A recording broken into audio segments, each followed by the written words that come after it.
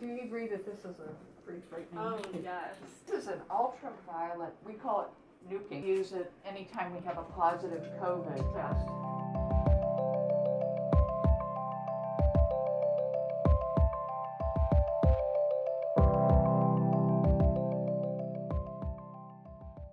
I am Karen Borneman, MD, uh, board certified family medicine. I've been at Cleveland State since 1989 and think a great deal of the place.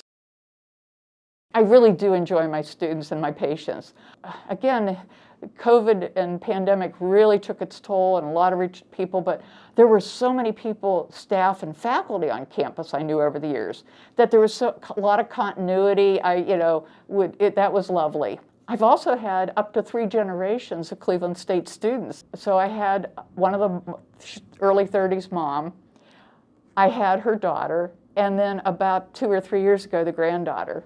At an orientation once, this one, you know, middle-aged woman comes in towing this 18-year-old great tall guy. She says, Dr. Borneman, you're still here. You did my pregnancy test. Oh, and I said, Well, you do good work. I remember a physician colleague said to me once, College health, that's got to be boring. A bunch of colds and sore throats and maybe an STD or two.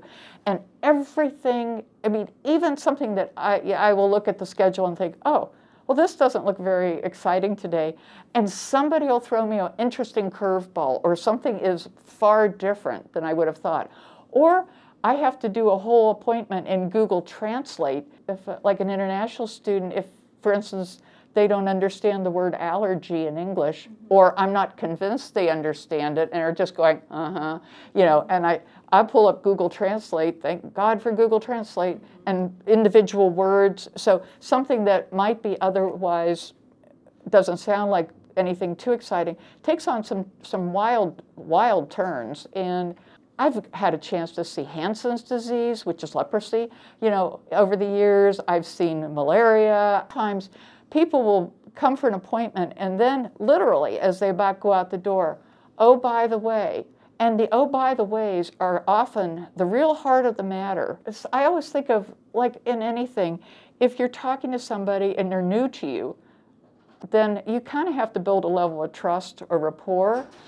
And it, I sometimes view those as, I mean, it, it, there's part of me that it makes me crazy, but the part of me I totally get, which is they finally built up enough courage to say what they really needed to say, you know, and for that, that's important.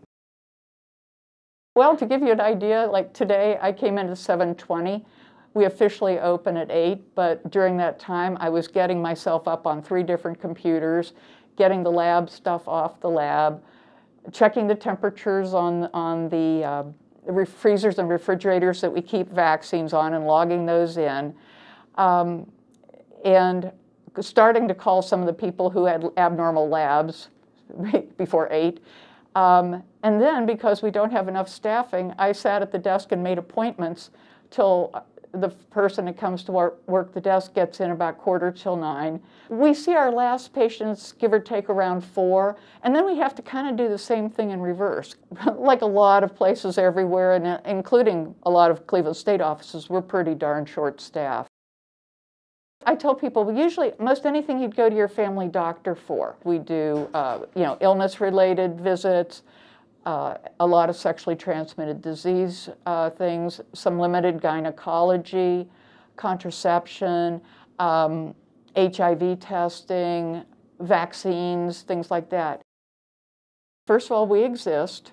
We can bill most insurance, but if somebody has an insurance we can't take, we if, if it's something that I think is going, we think is going to be expensive, we can give them ideas on where to go for what, what they might need. Um, but if, even if they don't have insurance, we charge a $5 visit fee. And if there's labs of any kind or medicines, and we tell them up front, and they can choose to do or not do it if they want to. But generally, we keep, for most things, we can keep pe people in and out pretty inexpensively. It is not a walk-in clinic. It's not an urgent care. So these are some real important things because you know, you, you have a pretty full schedule of patients, and if somebody comes walking in, I broke my leg, okay, that's good, but they shouldn't have probably limped over. They should have called 911 to get transported, you know. and, and we cannot run to people's emergencies. Like we can't run over to the residence hall. So if something is bad, call the, the and they're on campus, call Cleveland State Police at 2020 so they can get the right things happening. In mentioning that it's not a walk-in clinic, what we do have is a limited number of same-day appointments that people would call early Monday through Friday. We open at 8, so and they fill fairly quickly. So if somebody has an urgent thing, not not like you have a wart on your foot for 3 months, that does not need a same day.